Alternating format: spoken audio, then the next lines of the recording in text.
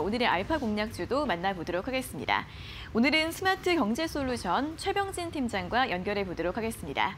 팀장님 안녕하세요. 네, 안녕하세요. 네, 오늘은 어떤 종목 확인해 볼까요? 네, 오늘 소개해드릴 종목은 컴투스라는 기업입니다.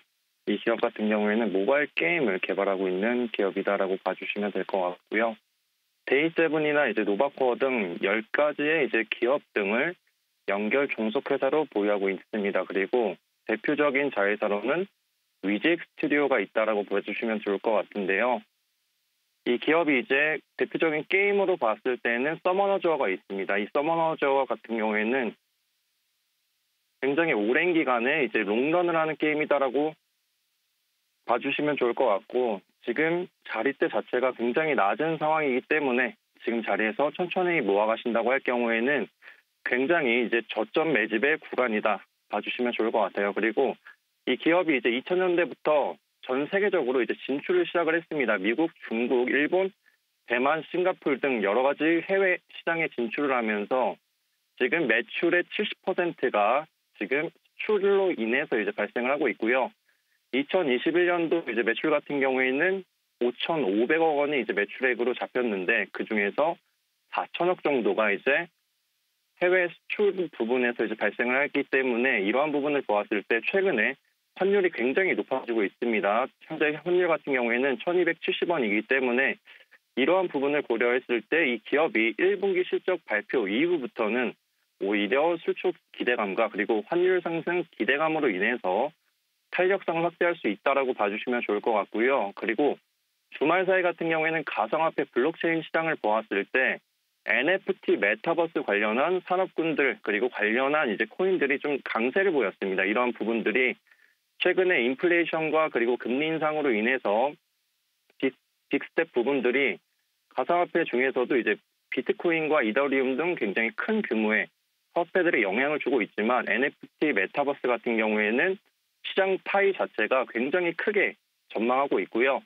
최근에 NFT 시장 같은 경우에는 빠르게 축소가 되었습니다. 오픈시만 하더라도 매매 거래 대금과 그리고 평가되었던 가치가 대폭 하향 조정되었는데 그렇다 하더라도 메타버스 산업 같은 경우에는 천조 원 이상의 시장 규모를 예상하고 있고요. 그리고 최근 같은 경우에는 삼성전자에서 메타버스 관련한 시장을 진출한다고 했기 때문에 오히려 지금 자리가 저점 매수의 구간이 될 수가 있고 그리고 시장 상황을 본다 하더라도 시장을 이끌고 방어해줄 주도주 테마가 존재하지 않고 있습니다. 하지만 뭐 NFT 메타버스 같은 경우에는 전반적으로 지금 자리가 바닥권이기 때문에 뭐 위메이드 컴투스 그리고 여러 가지 관련한 기업들의 저점 매집 구간도 한번 활용해 볼 수 있고요.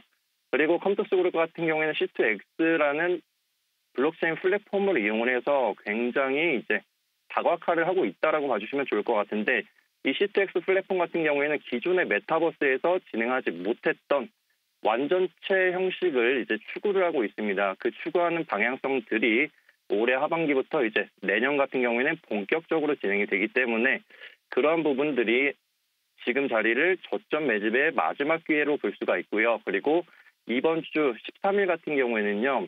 지금 기업 설명회를 진행을 하면서 1분기 실적에 대한 부분들을 제시를 하고 그리고 발표를 하고 그리고 향후 사업을 어떻게 할지 방향성을 잡아주기 때문에 이러한 기대감이 이어진다라고 하면은 굉장히 좋은 기업이 될 수 있고 그리고 대표적으로 마, 마지막으로 말씀드리자면 서머너즈와 크로니클이라는 이 과거에 이제 이 기업의 주가의 탄력성을 높여줬던 서머너즈 워 플랫폼을 이용해서 IP를 이용해서 추가적인 신작에 이제 출시를 하게 됩니다.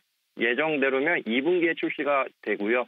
2분기에 정상적으로 출시를 할 경우에는 오히려 과거처럼 강한 상승 흐름을 나타낼 수도 있고요. 그리고 이 서머너즈 크로니클 같은 경우에는 블록체인 플랫폼 그리고 C2X라는 이 블록체인을 이용해, 이용을 해서 이제 출시를 하기 때문에 이런 부분들로 하여금 다시 한번 주도주 테마가 형성이 되면서 대장주격 흐름 기대해 볼 수 있다라고 말씀드리겠습니다. 그럼 차트로 넘어가서 가격 전략 설명드리도록 할게요. 자, 차트를 보시면은 지금 자리가 굉장히 바닥권에 있은, 있는 거를 보실 수 있습니다. 그리고 NFT 메타버스 테마가 이제 강세를 보였을 때 위메이드 후발주로서 컴투스 그룹주가 굉장히 높게 올라왔고요.